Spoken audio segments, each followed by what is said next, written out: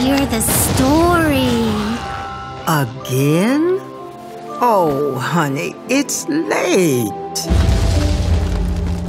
Please. Oh, well. This could have been a very different world, you know. A happy place, a colorful one, full of breathtaking sights, crazy creatures, and just dumb fun. a world of magic, fantastical places, and scary monsters. Tell me about Shakes and Fidget.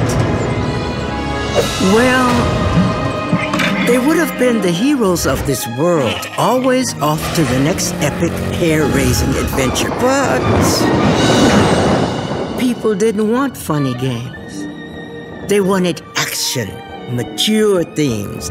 They wanted this. Those fuckers.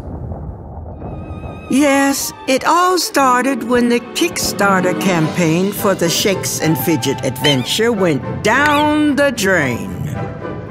It wasn't much those nice developers asked for, only a sign that people still wanted to laugh their asses off in a good old adventure game. A sign that somebody cared. But the game never got made.